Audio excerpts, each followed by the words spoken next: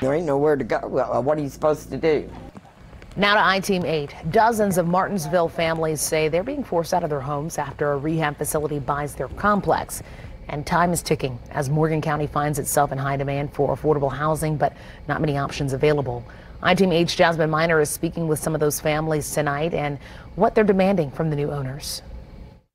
There's 44 units at this apartment complex in Martinsville, which adds up to around 150 people who are living here, all of which have just a couple of days to move out. And some families tell me if they cannot move out, they've already started buying camping gear in order to live on the street.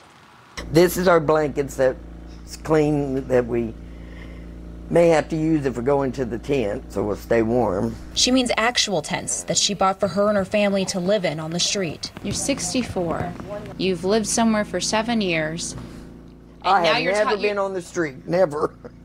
I've never been homeless. This is it right here. This is the first time. But Beth Parson believes being homeless could become a reality soon. She is one of the 44 families to get an eviction notice at the Artesian Court Apartments.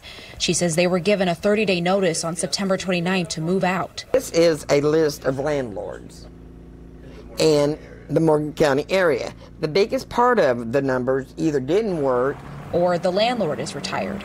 She says there's nowhere to go, even with the list of places given to her by the leasing office. Hi, this is Jasmine Miner from Wish TV. I was able to reach the property manager by phone, who tells me they have been helping to rehouse and relocate residents. According to records we found from the Morgan County Recorder's Office, Dewan Ennis sold these apartments to developer Obsidian Martin South LLC, who is building a transitional housing for patients going to Recovery Works, a new rehab clinic just up the road. Each one of us have our own income. That's not really the problem. It's just the down payment and the deposits and and application fees. Beth says those fees have cost her anywhere from 30, 50, even $75 each. We told them we couldn't afford 75 a piece just to fill an application out. Three days, I do believe. With Halloween as the deadline to get out.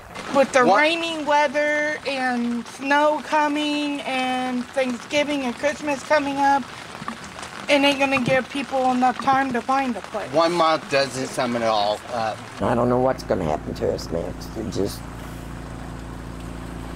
we need help. These families tell me they are begging the new owners to at least give them to the new year in order to find a new place to live. In Martinsville, Jasmine Miner for Wish TV, wishtv.com, and follow us on Facebook.